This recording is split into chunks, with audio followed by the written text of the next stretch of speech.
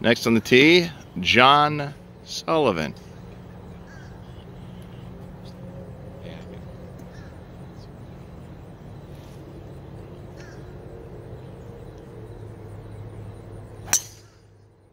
Oh, he'll Beauty.